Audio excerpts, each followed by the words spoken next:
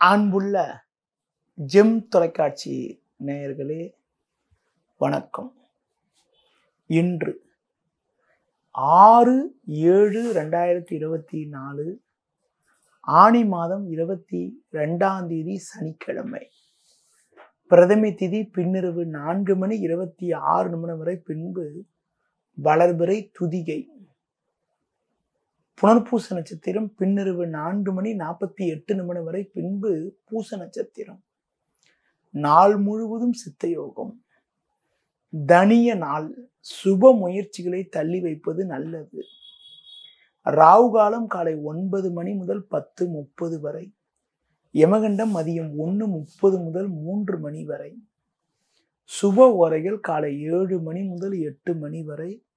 பகல் பத்து முப்பது முதல் பன்னிரெண்டு மணி வரை மாலை ஐந்து மணி முதல் ஏழு மணி வரை இரவு ஒன்பது மணி முதல் பத்து மணி வரை. இனி இன்றைய கிரக நிலை. மேஷராசியில் செவ்வாய் ரிஷப ராசியில் குரு மிதுன ராசியில் சூரியன் சந்திரன் சுக்கரன் கடக ராசியில் புதன் கன்னி ராசியில் கேது கும்ப ராசியில் சனி வக்ரகதியில் மீன ராசியில் ராகு. இனி இன்றைய ராசி பலன்.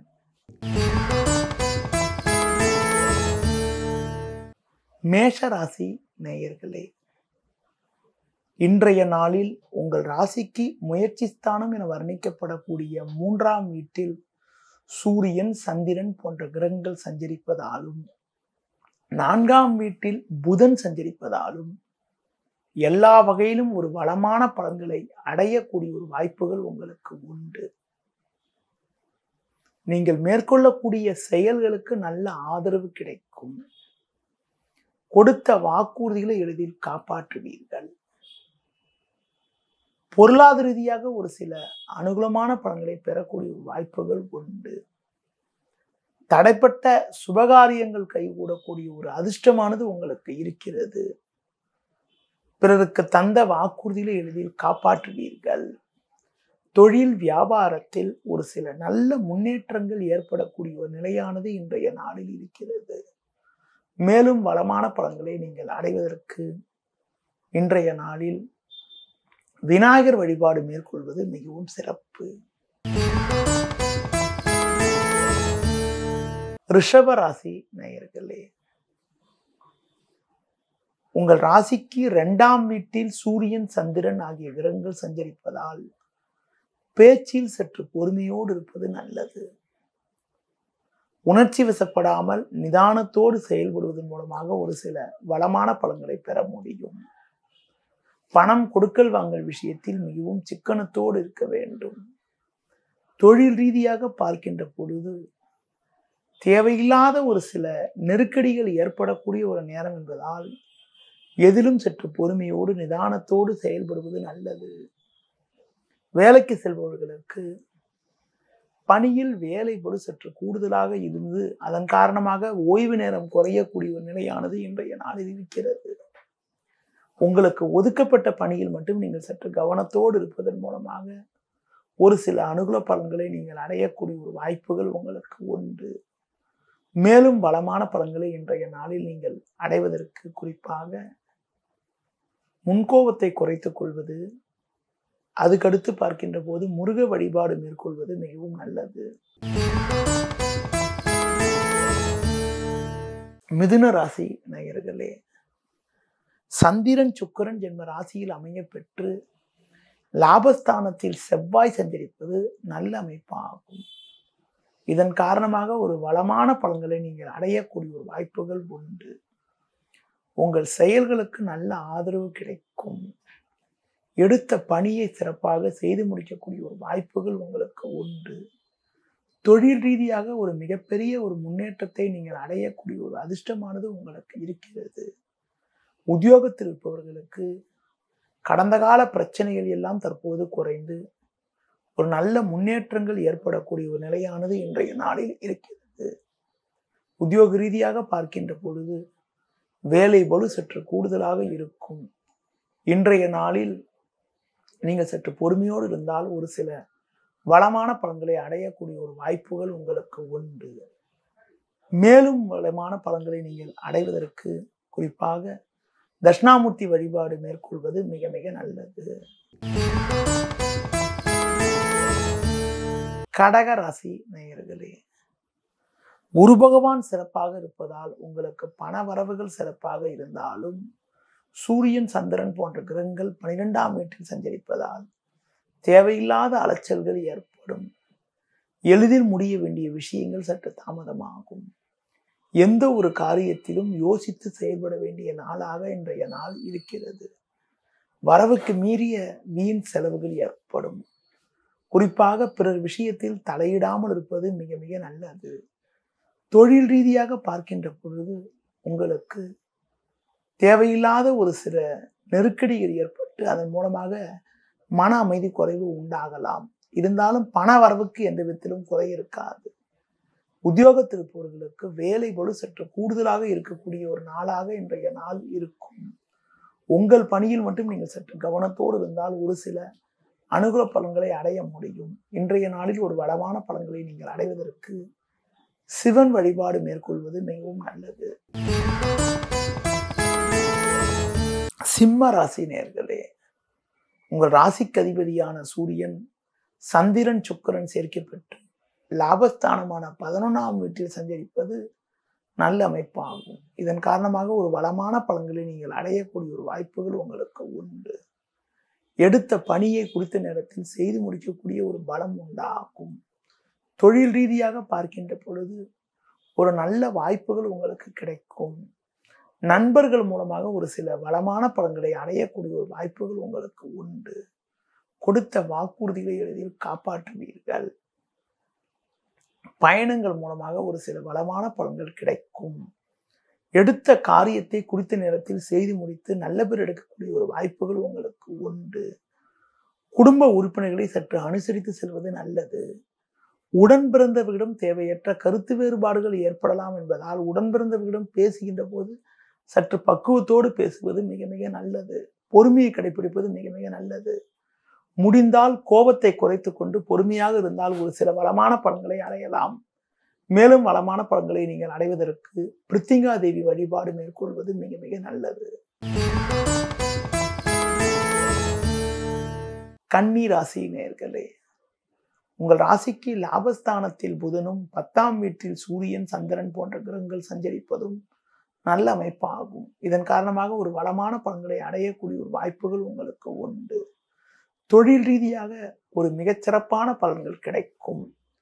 உங்கள் செயல்களுக்கு நல்ல ஆதரவு உண்டு. கொடுத்த வாக்குறுதிகளை எளிதில் காப்பாற்றுவீர்கள். பயணங்கள் மூலமாக ஒரு சில வளமான பலன்கள் கிடைக்கும்.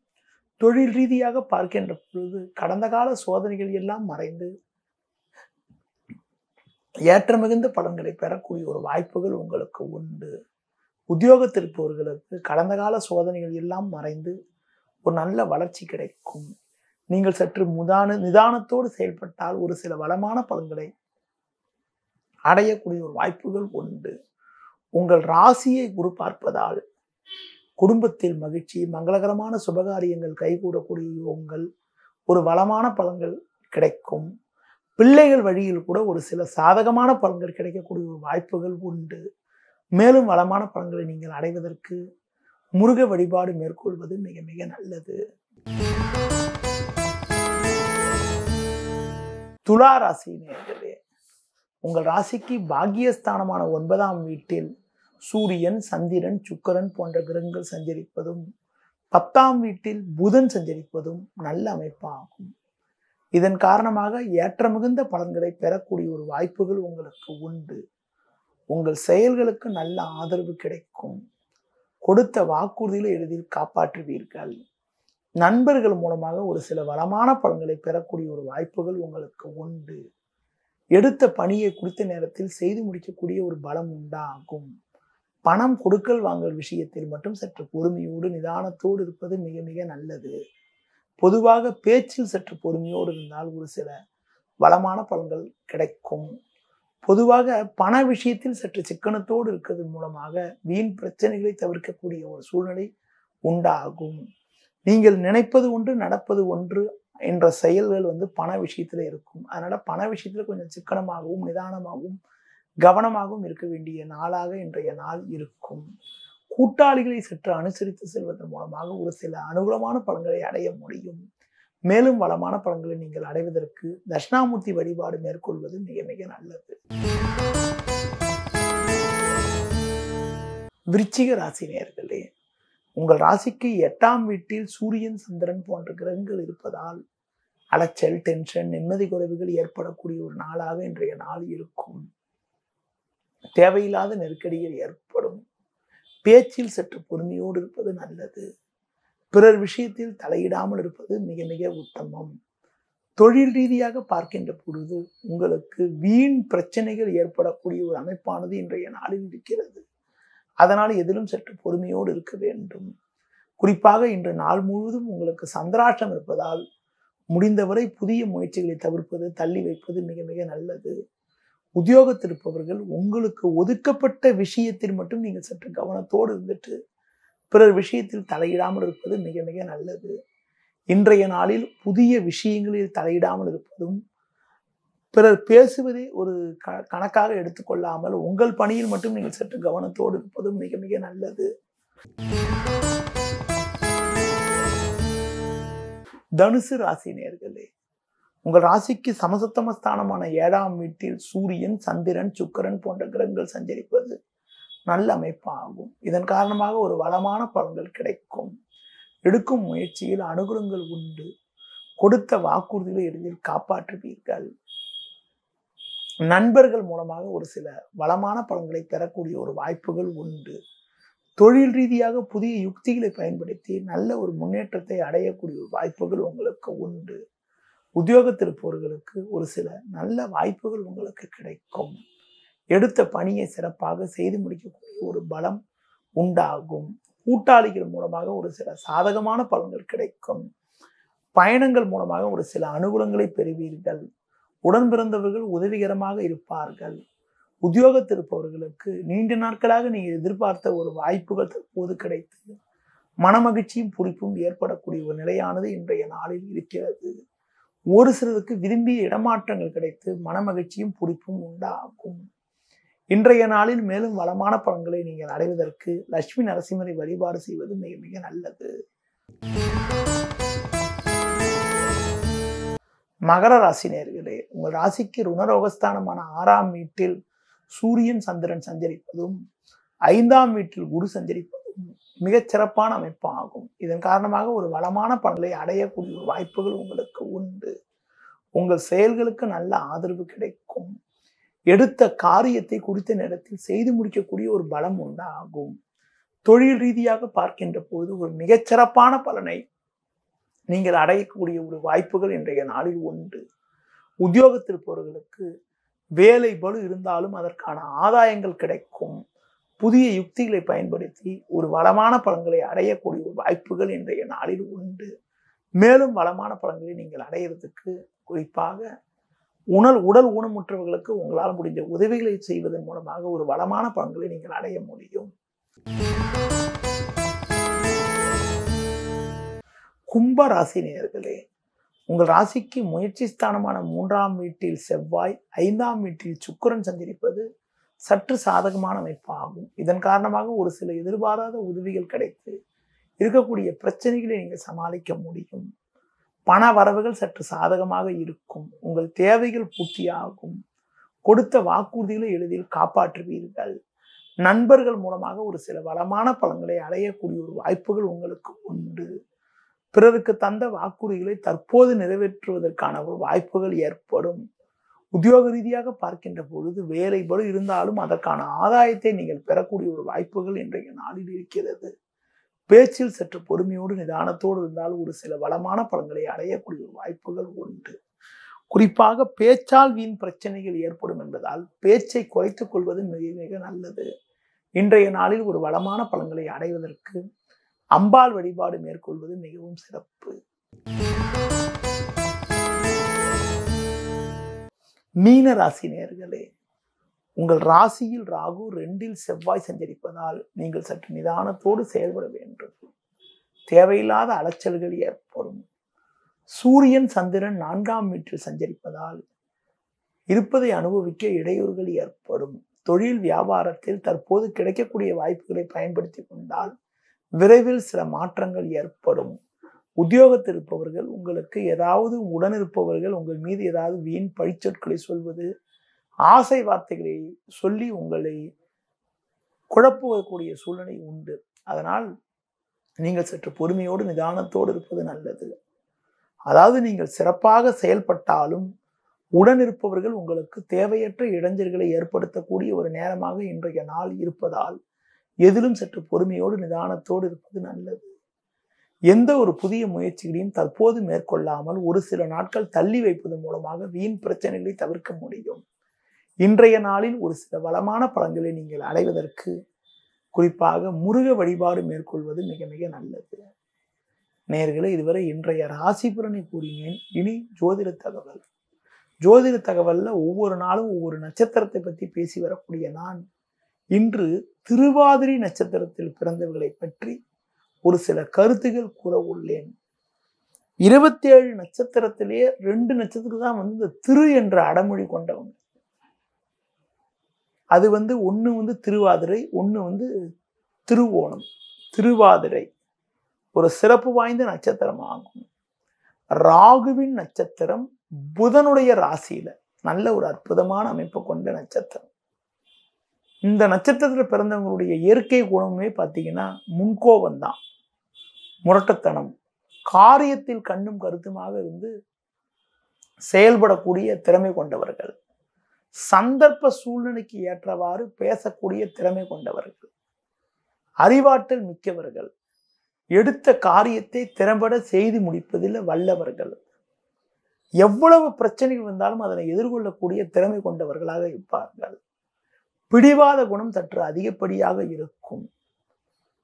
அதாவது வந்து சுய கௌரவம் கொண்டவர்கள். அதாவது மற்றவங்க கிட்ட வாக்குவாதங்கள் பண்ணியாவது எடுத்த காரியத்தில் வெற்றி அடைகிறதுல கண்ணும் கருத்துமாக இருப்பார்கள். அடுத்து பார்த்தீங்கன்னா வந்து மற்றவங்களுக்கு உதவி செய்யக்கூடிய ஒரு பண்பு கொண்டவர்கள். குறுகிய காலத்திலே ஒரு உயர்வான நிலையினை அடையக்கூடிய யோகம் கொண்டவர்கள். எதிர்பாராத வளர்ச்சி அடையக்கூடிய நபர்களாக ராகு திருவாதிரையில் பிறந்தவங்க இருப்பாங்க. அடுத்து பார்த்தீங்கன்னா கற்பனை வளம் மிக்கவர்கள். அடுத்து மனைவி பிள்ளைகளை நேசித்து வாழ்க்கையை ரசித்து வாழ்வார்கள். சுகபோக வாழ்க்கை சிறப்பாக இருக்கும்.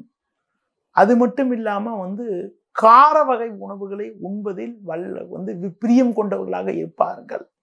அடுத்து குறிப்பாக என்ன தொழில் செய்வாங்கன்னு பார்த்தீங்கன்னா ரியல் எஸ்டேட்டு மக்கள் தொடர்புடைய செயல்கள் காவல்துறை சுற்றுலாத்துறை தொலைபேசி துறைகள் அப்புறம் வந்து கம்யூனிகேஷன் சம்மந்தப்பட்ட விஷயங்கள் பள்ளி கல்லூரிகள் போன்ற விஷயங்களில் வந்து ஈடுபடுறது பள்ளி கல்லூரிகளில் நடத்தக்கூடிய இவங்கள் அடுத்து பார்த்திங்கன்னா வங்கி பணி போன்ற விஷயங்களில் ஈடுபடுறதுக்கான வாய்ப்புகள்லாம் கூட இந்த திருவாதிரை நட்சத்திரம் பிறந்தவங்களுக்கு ஏற்படும். திருவாதிரை நட்சத்திரங்களுக்கு பிறந்தவங்களுக்கு என்ன திசை நடக்கும்னு பார்த்தீங்கன்றால் முதல் திசையே பார்த்தீங்கன்னா ராகுவோட திசையான நடக்கும். அதாவது திருவாதிரையே ராகுவோட நட்சத்திரம் ஆகும் ராகு திசை வந்து மொத்தமாக வந்து ஜென்ரலாக பதினெட்டு வருஷம். ஆனால் திருவாதிரை நட்சத்திரத்தில் பிறந்தவங்களுக்கு அந்த திசையோட இருப்பு எவ்வளோ பேலன்ஸ் இருக்கோ அதாவது மொத்த நேரத்தில் திருவாதிரை நட்சத்திரம் அவங்க பிறந்த போது எவ்வளோ நேரம் பேலன்ஸ் இருக்கோ அதுக்கேற்ற மாதிரி இருப்பு வந்து கால்குலேட் பண்ணி எடுப்போம். அப்படி கால்குலேட் பண்ணி எடுக்கும் போது ஒரு சிலருக்கு எட்டு வருஷம் நடக்கும் ஒரு சிலருக்கு ஒம்பது வருஷம் நடக்கும் ஒரு சிலருக்கு பன்னெண்டு வருஷம் பதிமூணு வருஷம் நடக்கும். திருவாதிரை ஒன்றாம் பாதத்தில் பிறந்த அதிக நாட்களான பதினாறு வருஷம் பதினேழு வருஷம் கூட உங்களுக்கு ராகு திசை நடக்கும். முதல் திசையாக ராகு திசை நடக்கும். முதல் திசையாக ராகு திசை நடக்கிறதுனால ராகு நல்ல இடத்துல இருந்துட்டா நல்ல ஒரு வளமான பலன்கள் நல்ல சிறப்புகள் தாய் தந்தையருக்கு நல்ல வளர்ச்சிகள் நல்ல முன்னேற்றங்களை கொடுக்கும்.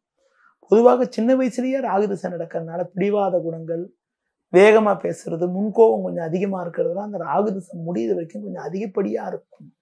குழந்தை பருவத்திலேயே ராகு திசை நடக்கிறதுனால அந்த குழந்தைகளை வந்து சின்ன வயசுலேயே ராகுதசை நடக்கின்ற பொழுது ஒரு விளையாட்டுத்தனம் முரட்டத்தனம் முன்கோபம்லாம் கொஞ்சம் அதிகமாக இருக்கிறதுக்கான வாய்ப்புகள் உண்டு. ராகு முடிகிற வரைக்கும் கொஞ்சம் நிதானமாகவும் பொறுமையாக இருந்தால் நல்லது. பொதுவாக குழந்தை பருவத்திலேயே ராகு வருகின்ற போது குழந்தை பருவத்தில் நிறைய அலர்ஜி சம்மந்தப்பட்ட பிரச்சனைகள்லாம் கூட வருவதற்கான வாய்ப்புகள் உண்டு. ரெண்டாவது திசையாக உங்களுக்கு வந்து பார்த்திங்கன்னா குருதிசை வரும்.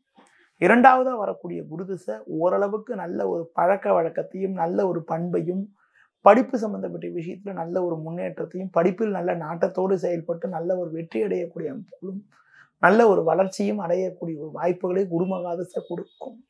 பொதுவாக குரு திசையில் படிப்பு அந்தஸ்து மற்ற விஷயங்கள் நல்லா சிறப்பாக இருக்கிறது. அதாவது ராகு திசையில் பட்ட கோபங்கள் ராகு திசையில் பட்ட முன்கோபங்கள்லாம் குரு திசையில் தொடங்கி குறைஞ்சி குரு திசையில் நல்ல ஒரு பண்பான நபராக செயல்படக்கூடிய ஒரு வாய்ப்புகள்லாம் குரு மகாதிசையில ஏற்படும்.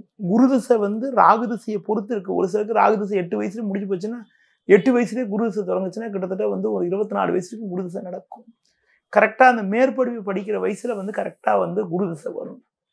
அந்த மாதிரி குருதிசை வருகின்ற போது படிப்பில் சாதிக்கக்கூடிய அமைப்புகள் படிப்பில் நல்ல முன்னுக்கு வரக்கூடிய அமைப்புகள் படிப்பால் நல்ல வளர்ச்சிகளை அடையக்கூடிய ஒரு அதிர்ஷ்டமும் யோகமும் கொண்ட ஒரு நபராக இருப்பாங்க. அடுத்து பார்த்தீங்கன்னா இவங்களுக்கு மூன்றாவது திசையாக சனி திசை வரும். மூன்றாவது திசையாக சனி திசை வருகின்ற பொழுது அதுவும் ஓரளவுக்கு நல்லா தான் இருக்கும். இருந்தாலும் சனி இருக்கக்கூடிய இடத்தை பொறுத்து இருக்கு. சனி திசை மூன்றாவது திசையாக சனி திசை வருகின்ற பொழுது ஓரளவுக்கு வளர்ச்சிகள் ஓரளவுக்கு முன்னேற்றங்கள்லாம் அடையக்கூடிய ஒரு வாய்ப்புகள் உண்டு. சனி நல்ல இடத்துல இருந்து நல்ல ஸ்தானத்தில் இருந்தால் நல்ல ஒரு வளமான பலன்கள் நல்ல சிறப்புகளாம் கூட கொடுக்கும். பொதுவாக சனி திசை வருகின்ற போது கொஞ்சம் சோம்பேறித்தனத்தை ஏற்படுத்துவதற்கான வாய்ப்புகள் உண்டு.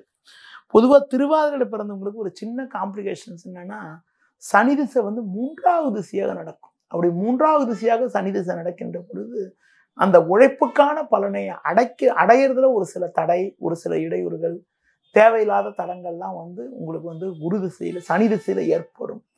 சனி திசையில் வந்து கொஞ்சம் போராடி எதிர்நீச்சல் போட்டு தான் முன்னுக்கு வரக்கூடிய ஒரு நிலையினை உண்டாக்கும். நான்காவது திசையாக உங்களுக்கு வந்து புதன் திசை வரும். பெரும்பாலும் நான் பார்க்குறதுல நிறைய இடத்துல பார்த்துட்டேன். திருவாரூரில் பிறந்தவங்களுக்கு பெரும்பாலும் பார்த்தீங்கன்னா நான்காவது திசையாக வரக்கூடிய புதன் திசையில் பெரிய லெவலில் சாதிக்கக்கூடிய அளவுக்கு யோகங்கள் சாமர்த்தியமாக செயல்பட்டு சம்பாதிக்கக்கூடிய அளவுக்கு அனுகூலங்கள் சம்பாரிச்சு நல்ல ஒரு நிலையில வரக்கூடிய ஒரு யோகங்கள்லாம் கூட இந்த புதனோட திசையில கொடுக்கும். பொதுவாங்க நான்காவது திசை தான் நல்ல ஒரு பிரமாதமான திசை. ஒரு பக்கம் புதன் திசை வந்து பார்த்தீங்கன்னா ராசிக்கு அதிபதியாகவும் புதன் திசை ஆயிடுறாரு அடுத்து பார்த்தீங்கன்னா புதன் ஒரு நல்ல இடத்துல இருந்துட்டா அந்த புதன் மகா திசையில ஒரு மிகப்பெரிய ஒரு வளர்ச்சியும் மிகப்பெரிய ஒரு முன்னேற்றமும் கல்வித்துறை வங்கித்துறை பணம் கொடுக்கல் வாங்கல் சம்மந்தப்பட்ட துறைகள் போன்ற விஷயங்கள் மூலமாக நல்ல சிறப்புகள் மற்றவங்களுக்கு ஆலோசனை சொல்கிறது மற்றவங்களுக்கு வழிகாட்டுறது போன்ற துறைகளில் நல்லா சாதிக்கக்கூடியவங்கள்லாம் கூட புதன் திசையில் கொடுக்கும். அடுத்து புதனுக்கு அடுத்து கேது வரும். கேது வந்து கொஞ்சம் தாமதமாக தான் வரும். கேது இருக்கிற இடத்த பொறுத்து இருக்கு. கேது வந்து நல்ல இடத்துல இருந்தால் நல்ல ஒரு சில சாதகமான பலன்கள் கிடைக்கும். அதுவே கேது நல்ல இடத்துல இருந்தால் கொஞ்சம் ஆரோக்கிய குறைபாடுலாம் கூட ஏற்படுறதுக்கான வாய்ப்புகள் உண்டு. அதுக்கடுத்து சுக்கரதசை வரும். சுக்கரதசை ரொம்ப லேட் பீரியட் அவ்வளோ சீக்கிரம்லாம் வந்து சுக்கரதசைலாம் காலகால காலம் கடந்து வரக்கூடிய திசை. ஒரு ஜாதகத்தில் அந்த கிரக அமைப்புகள் மற்ற அமைப்புகள்லாம் பொறுத்து இருக்குது. ஜாதகத்தில் இருக்கக்கூடிய கிரக நிலையை கொண்டு தான் வந்து சுக்கரதசைக்கான பலன்களை சொல்ல முடியும். பொதுவாக திருவாதிரையில் பிறக்கிறவங்க முடிஞ்ச வரைக்கும் அம்மன் வழிபாடு துர்க்கை வழிபாடு உக்ர தெய்வங்களை வழிபாடு பண்ணுறது குலதெய்வத்தை வழிபாடு பண்ணுறது நல்லது. மெயினாக திருவாதிரையில் பிறக்கிறவங்க கோபத்தை குறைச்சிட்டு செயல்பட்டால ஒரு சில வளமான பலன்களை அடையக்கூடிய ஒரு வாய்ப்புகள் உண்டாகும். நேர்களே இதுவரை திருவாரணத்தில் பிறந்தவங்களை பற்றியும் இன்றைய ராசிகள் பற்றியும் கூறினேன். மீண்டும் நாளை காலை சந்திப்போம். நன்றி வணக்கம்.